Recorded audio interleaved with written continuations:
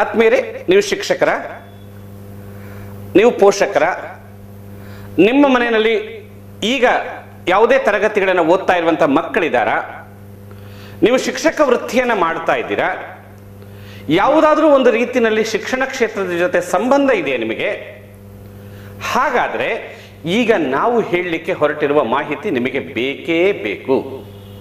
ನಾವು ಈಗ ಹೇಳಲಿಕ್ಕೆ ಹೊರಟಿರುವಂತಹದ್ದು ನಮ್ಮ ಕೇಂದ್ರ ಸರ್ಕಾರ ತಂದಿರುವಂತಹ ರಾಷ್ಟ್ರೀಯ ಶಿಕ್ಷಣ ನೀತಿಯ ಬಗ್ಗೆ. ಏನಿದು? ಯಾಕೆ? ಅದರ ಒಳನೋಟ ಏನು ಅನ್ನೋದನ್ನು ನಾವು ನಿಮಗೆ ಅತ್ಯಂತ ಸರಳವಾಗಿ ಮತ್ತು ಅತ್ಯಂತ ಪ್ರಾಕ್ಟಿಕಲ್ ಆಗಿ ಈ N E P twenty twenty ಬಗ್ಗೆ ತಿಳಿಸ್ತಾ ಇದ್ದೀವಿ. ಖಂಡಿತವಾಗಿಯೂ ಈ ಮಾಹಿತಿ ಈ ದೇಶದ ಪ್ರತಿಯೊಬ್ಬ ಪ್ರಜೆಗೂ ಬೇಕು.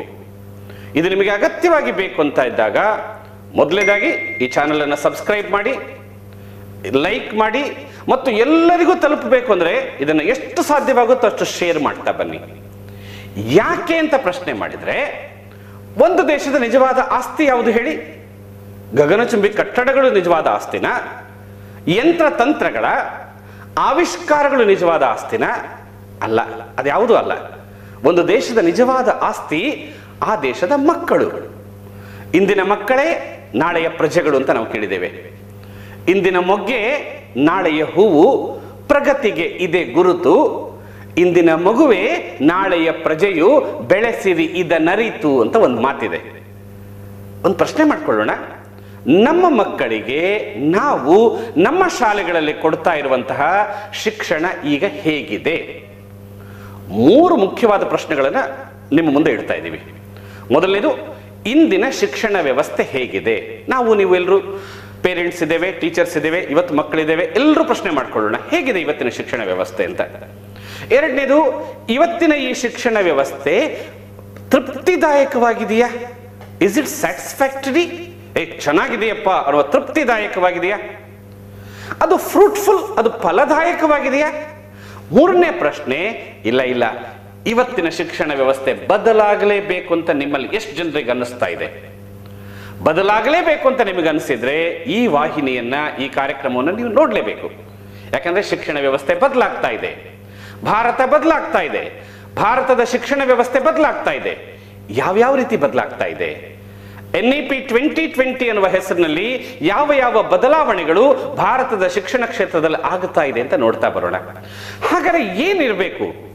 ಸ್ವಾಮಿ ವಿವೇಕಾನಂದರು ಹೇಳಿದ್ರು education is the manifestation of divinity which is already in the man ಅಂತ ಹೇಳಿದ್ರು. ಅಂದ್ರೆ ಪ್ರತಿಯೊಬ್ಬ ಮನುಷ್ಯನಲ್ಲೂ ಒಂದು ದಿವ್ಯತ್ವ ಅಂತ ಇದೆ.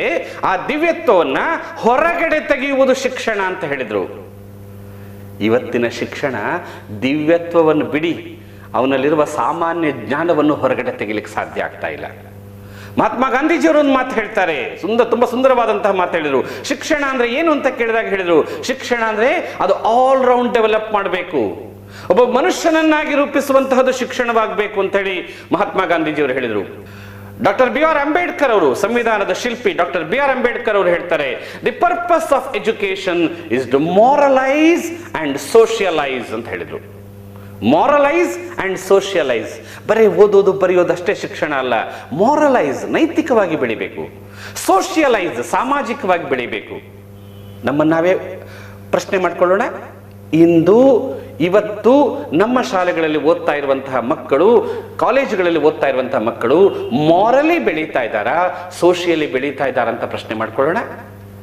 ಪುಟ್ಟಪ್ರತಿಯ ಶ್ರೀ ಸತ್ಯಸಾಯಿ ಬಾಬಾ ಅವರು ಒಂದು ಅದ್ಭುತವಾದ ಮಾತು ಹೇಳಿದ್ರು. Education is for life not for living ಅಂತ. ವಿದ್ಯೆ ಜೀವನಕ್ಕಾಗಿ ಅಲ್ಲ, ಜೀವನದ ಸಾರ್ಥಕತೆಗಾಗಿ ಅಂತ ಹೇಳಿದರು. The purpose of education is not in marks the purpose of education is happy life ಅಂತ ಹೇಳಿದರು. ಮನುಷ್ಯ ಎಷ್ಟು ಸಂತೋಷಕರವಾಗಿ ಬದುಕ್ತಾನೆ, ಎಷ್ಟು ಫಲದಾಯಕವಾಗಿ ಬದುಕ್ತಾನೆ, ಎಷ್ಟು ಚೆನ್ನಾಗಿ ಬದುಕ್ತಾನೆ ಅನ್ನೋದ್ರ ಮೇಲೆ ಶಿಕ್ಷಣದ ನಿಜವಾದ ಉದ್ದೇಶ ಅಂತ ಸತ್ಯಸಾಯಿ ಬಾಬಾ ಅವರು ಹೇಳಿದ್ರು. ಅದೆಲ್ಲವೂ ಈಡೇರ್ತಾ ಇದೆಯಾ? ಅದೆಲ್ಲವೂ ಆಗ್ತಾ ಇದೆಯಾ ಅಂತ ಪ್ರಶ್ನೆ ಮಾಡ್ಕೊಳ್ತಾ ಬರೋಣ. ಆಗ್ತಾ ಇದೆಯಾ ಅಂತ ಕೇಳಿದರೆ ಖಂಡಿತವಾಗಿಯೂ ನಮ್ಮೆಲ್ಲರ ಬಾಯಿಂದ ಬರುವುದು ಒಂದು ನಿರಾಶೆಯ ನಿಟ್ಟುಸಿರು. ಯಾಕೆ ಹೀಗಾಗ್ತಾ ಇದೆ ಅಂತ ಕೇಳಿದರೆ, ನಾವು ಇವತ್ತು ಯಾವ ಶಿಕ್ಷಣ ಪದ್ಧತಿಯನ್ನು ಓದ್ತಾ ಇದ್ದೇವೆ, ಇದನ್ನು ಆರಂಭ ಮಾಡಿದವನು ಮೆಕಾಲೆ ಅನ್ನುವಂಥ ವ್ಯಕ್ತಿ. ಥಾಮಸ್ ಮೆಕಾಲೆ ಅನ್ನುವನು ಈ ಶಿಕ್ಷಣ ಪದ್ಧತಿಯನ್ನು ಆರಂಭ ಮಾಡಿದ. ಸಾವಿರದ ಎಂಟುನೂರ ಮೂವತ್ತೈದನೇ ಇಸ್ವಿನಲ್ಲಿ ಬ್ರಿಟನ್ನಿನ ಪಾರ್ಲಿಮೆಂಟಲ್ಲಿ ಆತ ಒಂದು ಮಾತು ಹೇಳ್ತಾನೆ, ಎಲ್ಲ ಜನಾಂಗವನ್ನ ಅಲ್ಲಿರ್ತಕ್ಕಂತಹ ಪಾರ್ಲಿಮೆಂಟ್ ಅಲ್ಲಿ ಇದ್ದಂಥವರನ್ನ ಎಲ್ಲರನ್ನು ಉದ್ದೇಶಿಸಿ ಅವನು ಹೇಳ್ತಾನೆ, ಏನಂದ್ರೆ I travelled length and breadth of India ಭಾರತದ ಉದ್ದಗಲಗಳಿಗೆ ನಾನು ಹೋಗಿದ್ದೇನೆ. ನನಗೊಬ್ಬ ಕಳ್ಳ ಸಿಗ್ಲಿಲ್ಲ. ಒಬ್ಬ ಭಿಕ್ಷುಕ ಸಿಗಲಿಲ್ಲ. ಈ ಭಾರತ ಅತ್ಯಂತ ಸಮೃದ್ಧವಾಗಿದೆ. ಈ ಭಾರತ ಅತ್ಯಂತ ಶ್ರೀಮಂತವಾಗಿದೆ. Because of their values moral values Bharat ಶ್ರೀಮಂತವಾಗಿರೋದು ಮಾರಲ್ ವ್ಯಾಲ್ಯೂಸ್ನಿಂದಾಗಿ ಎಲ್ಲಿಯ ತನಕ ಭಾರತ ಹೀಗಿರ್ತದೆಯೋ, ಅಲ್ಲಿಯ ತನಕ ನಾವು, ಅಂದ್ರೆ ಈಸ್ಟ್ ಇಂಡಿಯಾ ಕಂಪನಿಯವರು ಭಾರತವನ್ನು ವಶಪಡಿಸ್ಕೊಳ್ಳಿಕ್ಕೆ ಸಾಧ್ಯ ಇಲ್ಲ. ಹಾಗಾಗಬೇಕು ಅಂದ್ರೆ ಭಾರತ ಮಾತೆಯ ಬೆನ್ನೆಲುಬು ಯಾವುದು ಅಂದ್ರೆ ಇಲ್ಲಿಯ ಏನ್ಷಿಯಂಟ್ ಎಜುಕೇಶನ್ ಸಿಸ್ಟಮ್ ಪ್ರಾಚೀನ ಶಿಕ್ಷಣ ಪದ್ಧತಿ, ಇದನ್ನ ಮುರಿಬೇಕು.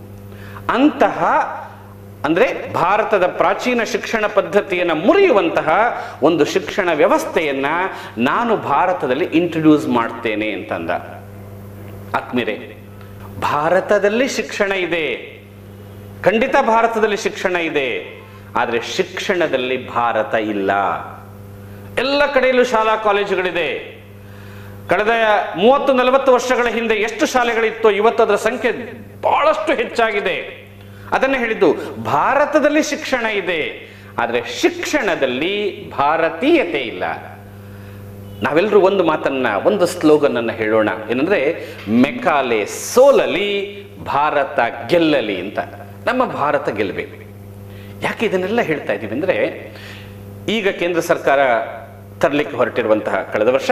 ಎರಡ್ ಸಾವಿರದ ಇಪ್ಪತ್ತು ಜುಲೈ ಇಪ್ಪತ್ತೊಂಬತ್ತಕ್ಕೆ ಅದನ್ನ ಅಂಗೀಕಾರ ಮಾಡ್ತು. ಕಳೆದ ಕೆಲವು ದಿನಗಳಿಂದ ಈ N E P twenty twenty ಬಹಳ ಭರದಿಂದ ಅನುಷ್ಠಾನಕ್ಕೆ ಸಿದ್ಧವಾಗ್ತಾ ಇದೆ. ಎಲ್ಲ ಹಂತಗಳಲ್ಲಿ ಆಗಿದೆ. ಈಗಾಗಲೇ ಉನ್ನತ ಶಿಕ್ಷಣ ಅಂತ ನಾವೇನು ಹೇಳ್ತೇವೆ, ಆ ಉನ್ನತ ಶಿಕ್ಷಣದಲ್ಲಿ ಈಗಾಗಲೇ ಅದು ಅನುಷ್ಠಾನಕ್ಕೆ ಒಳಗಾಗಿದೆ. ಜೊತೆಯಲ್ಲಿ ಬಹಳ ಹೆಮ್ಮೆಯಿಂದ ಹೇಳ್ಕೊಳ್ಬಹುದಾದ ವಿಷಯ ಏನಂದ್ರೆ, ಈ ಎನ್ ಇ ಪಿ ಟ್ವೆಂಟಿ ಟ್ವೆಂಟಿಯನ್ನ ಅನುಷ್ಠಾನಗೊಳಿಸ್ತಾ ಇರತಕ್ಕಂಥ ರಾಜ್ಯಗಳಲ್ಲಿ ನಮ್ಮ ಕರ್ನಾಟಕ ಮೊದಲ ಸ್ಥಾನದಲ್ಲಿದೆ. ಈ ಹಂತದಲ್ಲಿ ಈ N E P twenty twenty ಬಗ್ಗೆ ಅರಿವು ಇರಬೇಕಾದದ್ದು ಎಲ್ಲರಿಗೂ ಅಗತ್ಯವಾಗಿದೆ. ಅದರ ಬಗ್ಗೆ ಮಾಹಿತಿಯನ್ನು ನಾವು ನಿಮಗೆ ಕೊಡ್ತೇವೆ. ಅದರ ಬಗ್ಗೆ ಒಳನೋಟವನ್ನು ನಾವು ನಿಮಗೆ ಕೊಡ್ತೇವೆ. ಯಾಕೆ, ಏನ್ ಮಾಡಿದ್ರು, ಇದರ ಹಿಂದೆ ಇರ್ತಕ್ಕಂತಹ ಉದ್ದೇಶ ಏನು ಅನ್ನೋದ್ರ ಬಗ್ಗೆ ನಾವು ನಿಮಗೆ ತಿಳಿಸ್ತಾ ಬರ್ತೇವೆ. ಬಹಳ ಚೆನ್ನಾಗಿ ತಿಳ್ಕೊಳ್ತಾ ಬರೋಣ. ಯಾಕೆ ಇದನ್ನು ಮಾಡಿದ್ರು? ಅದು ಯಾಕೆ? ಅದು ನನ್ನ ಮಗು ಯಾಕೆ ಬೇಕು? ನಮ್ಮ ಸ್ಟೂಡೆಂಟಿಗೆ ಇವತ್ತು ಯಾಕೆ ಬೇಕು? ಒಬ್ಬ ಟೀಚರ್ ಈ ಎನ್ ಇ ಪಿ ನಲ್ಲಿ ಯಾಕೆ ಪಾಠ ಮಾಡಬೇಕು? ಹೇಗೆ ಪಾಠ ಮಾಡಬೇಕು? ಅದು ಏನನ್ನ ಹೇಳಲಿಕ್ಕೆ ಹೊರಟಿದ್ದಾರೆ, ಇದರ ಬಗ್ಗೆ ನಾವು ನೋಡ್ತಾ ನೋಡ್ತಾ ಬರೋಣ. ಬಹಳ ಮುಖ್ಯವಾಗಿ, ಅದರ ಬಗ್ಗೆ ಈ ಎನ್ ಇ ಪಿಗೆ ಯಾಕೆ ಇಷ್ಟು ಮಹತ್ವ ಇದೆ? ಎನ್ ಇ ಪಿ ಅಂದ್ರೆ ನ್ಯಾಷನಲ್ ಎಜುಕೇಶನ್ ಪಾಲಿಸಿ ಅಂತ. ಮೊದಲನೇ ಪ್ರಶ್ನೆ ಬರೋದು ಪಾಲಿಸಿ ಅಂದ್ರೆ ಏನು ಅಂತ? ಹಾಗಾದ್ರೆ ಪಾಲಿಸಿ ಅಂದ್ರೆ ಏನು? ಪಾಲಿಸಿ ಅಂದರೆ ನಮ್ಮ ಕಾರ್ಯಕ್ರಮಗಳಿಗೆ ನಾವೇ ರೂಪಿಸಿಕೊಳ್ಳುವಂಥ ಒಂದು ಚೌಕಟ್ಟು. ಶಿಕ್ಷಣ ನಮ್ಮ ಕಾರ್ಯಕ್ರಮ. ಈ ಶಿಕ್ಷಣಕ್ಕೆ ನಾವು ಒಂದು ಚೌಕಟ್ಟನ್ನು ರೂಪಿಸ್ಕೊಳ್ತೇವೆ. ನಾವು ಅಂದರೆ ನಮ್ಮ ಕೇಂದ್ರ ಸರ್ಕಾರ ಒಂದು ಒಂದು ಚೌಕಟ್ಟನ್ನು ಕೊಟ್ಟಿದೆ. ಈ ಚೌಕಟ್ಟಿನ ಅಡಿನಲ್ಲಿ ನಮ್ಮ ಭಾರತದ ಶಿಕ್ಷಣ ವ್ಯವಸ್ಥೆ ಇರಬೇಕು ಅನ್ನೋದು. ಅದನ್ನೇ ಪಾಲಿಸಿ ಅಂತ ಕರೆದ್ರು. ಯಾಕೆ ಬೇಕು ಇದು? ಇದಿಲ್ದೇನೆ ಶಿಕ್ಷಣ ನಡಿಬೋದಲ್ಲ, ಶಾಲೆಗಳು ನಡಿಬೋದಲ್ಲ ಅಂದ್ರೆ ಇಲ್ಲ. ಯಾಕೆ ಬೇಕು ಅಂದ್ರೆ ಮೂರು ಕಾರಣಗಳನ್ನ ಹೇಳ್ಬೋದು. ಮೊದಲನೇದು, ಈ ಶಿಕ್ಷಣ ನೀತಿ ನಮ್ಮ ರಾಷ್ಟ್ರದ ಪ್ರಗತಿಗೆ ದಿಕ್ಸೂಚಿ ಆಗುತ್ತೆ. ಅದರಲ್ಲೂ ಈ ಸರ್ತಿಯ ಈ N E P twenty twenty ಸ್ಪಷ್ಟವಾಗಿ ಹೇಳ್ತಾ ಇದೆ, ಭಾರತವನ್ನ ಜಾಗತಿಕ ಸೂಪರ್ ಪವರ್ ಅನ್ನಾಗಿ ಮಾಡ್ತೇವೆ. ನಮ್ಮ ಮಕ್ಕಳನ್ನ ಇಪ್ಪತ್ತೊಂದನೇ ಶತಮಾನದಕ್ಕೆ ತಕ್ಕಂತೆ ರೂಪಿಸ್ತೇವೆ ಅಂತೇಳಿ. ಅಂದ್ರೆ ಒಂದು ದಿಕ್ಸೂಚಿಯನ್ನ ಕೊಡುತ್ತೆ ಈ ಎನ್ ಇ ಪಿ ಎರಡನೇದು ರಾಷ್ಟ್ರೀಯ ಉದ್ದೇಶಗಳನ್ನ ಸಾಧಿಸಬೇಕು. ಭಾರತಕ್ಕೆ ತನ್ನದೇ ಆದ ಉದ್ದೇಶ ಇದೆ. ಬೇರೆ ದೇಶದ ಹಾಗಲ್ಲ ಭಾರತ. ಇದಕ್ಕೆ ಅದರದ್ದೇ ಆದ ಭವ್ಯತೆ ಇದೆ, ಅದರದ್ದೇ ಆದ ದಿವ್ಯತೆ ಇದೆ. ಬೇರೆ ದೇಶಕ್ಕೂ ಭಾರತದ ಉದ್ದೇಶಗಳಿಗೂ ಬಹಳ ವ್ಯತ್ಯಾಸ ಇದೆ. ಭಾರತ ಅನೇಕ ರಾಷ್ಟ್ರೀಯ ಮೌಲ್ಯಗಳನ್ನು ನಂಬಿಕೊಂಡು ಬಂದಿದೆ. ಆ ರಾಷ್ಟ್ರೀಯ ಮೌಲ್ಯಗಳನ್ನು ಸಾಧಿಸಬೇಕಾದ್ರೆ ಅದಕ್ಕೆ ತಕ್ಕಂತಹ ಶಿಕ್ಷಣವನ್ನು ನಮ್ಮ ಮಕ್ಕಳಿಗೆ ಕೊಡಬೇಕು. ಅದಕ್ಕೆ ತಕ್ಕಂತಹ ಶಿಕ್ಷಣ ಕೊಡಬೇಕು ಅಂದರೆ ಅದನ್ನ, ಅದಕ್ಕೆ ತಕ್ಕಂತಹ ಪಾಲಿಸಿ ಚೌಕಟ್ಟು ನಮ್ಮಲ್ಲಿರಬೇಕು. ಹಾಗಾಗಿ ಮೊದಲನೇದು ರಾಷ್ಟ್ರದ ಪ್ರಗತಿಗೆ ದಿಕ್ಸೂಚಿ ಆಗುತ್ತೆ. ಎರಡನೇದು ಭಾರತದ ರಾಷ್ಟ್ರೀಯ ಉದ್ದೇಶಗಳನ್ನು ಸಾಧಿಸೋದಕ್ಕೆ ಬೇಕಾಗುತ್ತೆ. ಮೂರನೇದು ರಾಷ್ಟ್ರದ ಆದರ್ಶಗಳನ್ನು ಪ್ರತಿಬಿಂಬಿಸುವುದಕ್ಕೆ ಬೇಕಾಗುತ್ತೆ. ಖಂಡಿತವಾಗಿ ಈ ಎನ್ ಇ ಪಿ ಟ್ವೆಂಟಿ ಟ್ವೆಂಟಿಯ ಅರವತ್ತು ಪುಟಗಳ ಒಂದು ಡಾಕ್ಯುಮೆಂಟ್ ಏನಿದೆ, ಒಂದು ದಾಖಲೆ ಏನಿದೆ, ಅದನ್ನ ಓದ್ತಾ ಬಂದ್ರೆ ಎಲ್ಲೋ ಒಂದು ಕಡೆ ಭಾರತ ಭಾರತ ಭಾರತ ಅಂತ ಕೇಳಿಸುತ್ತೆ. ರಾಷ್ಟ್ರೀಯತೆ ರಾಷ್ಟ್ರೀಯತೆ ರಾಷ್ಟ್ರೀಯತೆ ಅನ್ನೋ ಶಬ್ದ ಕೇಳಿಸುತ್ತೆ. ನಮ್ಮ ದೇಶದ ಆದರ್ಶಗಳೇನು? ವ್ಯಾಲ್ಯೂಸ್ ಏನು? ಸಾಮಾಜಿಕ ಮೌಲ್ಯಗಳೇನು? ನೈತಿಕ ಮೌಲ್ಯಗಳೇನು? ಇದೆಲ್ಲವನ್ನು ನಾವು ಹೇಳ್ತಾ ಬರ್ತೀವಿ. ಇದೆಲ್ಲವೂ ಇರತಕ್ಕಂಥ N E P twenty twenty ಬಗ್ಗೆ ನಮ್ಮ ಈ ವಾಹಿನಿಯಲ್ಲಿ ಸರಳವಾಗಿ ತಿಳಿಸ್ಕೊಡ್ತೇವೆ. ಎಂಥವರಿಗೂ ಅರ್ಥ ಆಗುವ ಹಾಗೆ ಸರಳವಾಗಿ ನಿಮಗೆ ತಿಳಿಸ್ಕೊಡ್ತಾ ಬರ್ತೇವೆ. ಎರಡನೇದು ಪ್ರಾಕ್ಟಿಕಲ್ ಆಗಿ, ಪ್ರಾಯೋಗಿಕವಾಗಿ ತಿಳಿಸ್ತೇವೆ. ಅರವತ್ತು ಪುಟಗಳ ಡಾಕ್ಯುಮೆಂಟ್ ಇದೆಯಲ್ಲ? ಡಾಕ್ಯುಮೆಂಟ್ ಅಂದ್ರೆ ಏನು? It's a paper it's a word it's a ಶಬ್ದಗಳು. ಆ ಶಬ್ದಗಳ ಹಿಂದೆ ಒಂದು ಅರ್ಥ ಇದೆ. ಡಾಕ್ಯುಮೆಂಟ್ ಅಂದ್ರೆ ರೀತಿ. ನಾವು ನಿಮಗೆ ಬರೀ ರೀತಿಯನ್ನ ಹೇಳ್ತಾ ಇಲ್ಲ. ಬರೀ ನೀತಿಯನ್ನ ಹೇಳ್ತಾ ಇಲ್ಲ. ಅದರ ಹಿಂದೆ ಇರುವ ಪ್ರೀತಿಯನ್ನ ನಿಮಗೆ ನಾವು ತಿಳಿಸ್ಕೊಡ್ತೇವೆ. ಹಾಗಾಗಿ ಮತ್ತೊಮ್ಮೆ ನಿಮಗೆ ಹೇಳ್ತಾ ಇದ್ದೇವೆ, ಇದು ಎಲ್ರಿಗೂ ಅಗತ್ಯವಾದ ಮಾಹಿತಿ. ಸಬ್ಸ್ಕ್ರೈಬ್ ಮಾಡಿ ಲೈಕ್ ಮಾಡಿ ಶೇರ್ ಮಾಡಿ. Thank you